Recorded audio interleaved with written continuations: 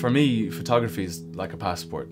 It allows me to go anywhere and to meet anyone. It gets you in places that other people may not have ever had any reason to be in. My name's Ellius. I'm a photographer from Dublin and uh, I'm co founder and editor of Junior Magazine. I think it took a number of activities to reach photography, I guess. It seemed very easy at the time when I started, but uh, soon when the challenges started to arise, when I started to specify what I wanted to, to photograph, I started to realize that this was something that I really responded to and something that I really wanted to do kind of for the rest of my life, I guess. After a while, I kind of found that people were the most challenging thing to photograph.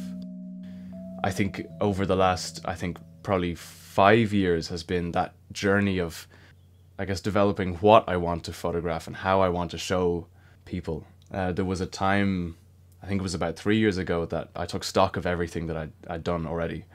I realized that what I wanted to do was to make true photographs and to make honest portraits. It being an image, I want the subject to be the thing that somebody sees rather than an image itself. I shoot fashion and portrait. Because my original background is in portrait and, and, and in a way documentary, I think my fashion is very much informed by, by portraits. Taking any of my photos, I think I would mostly gravitate towards uh, being able to enter somebody's space or somewhere that is at least in some way slightly meaningful to them. I like lots of natural light. I shoot on film. Uh, most lately, I've been shooting on medium format film with an 80 millimeter lens, so you can really take these portraits close up, really close up to the face, where you've blown out the background completely, and then you offset that with.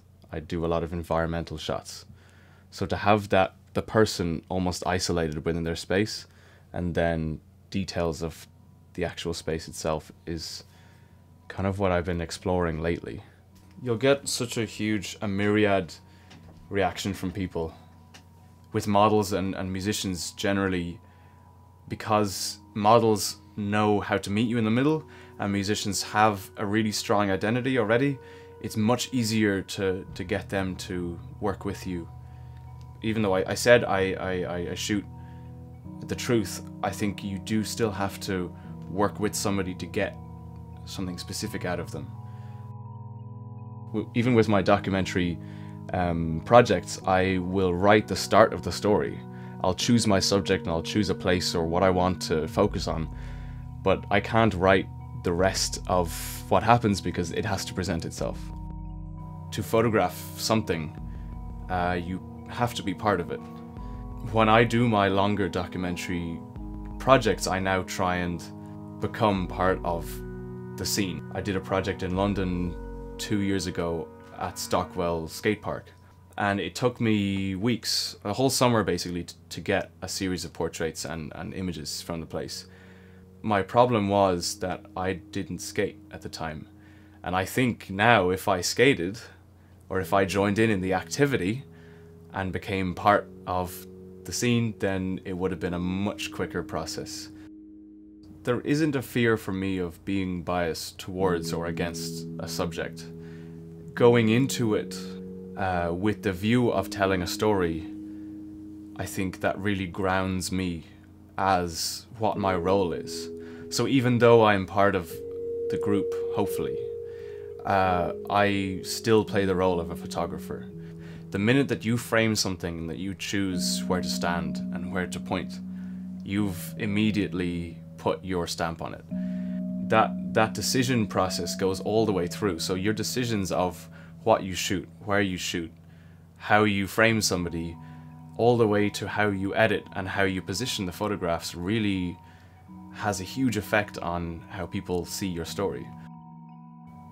When I'm on the field photographing, I I really try and just focus on what's happening now. The the the wider view of of the story comes then in the editing process and looking at the images afterwards.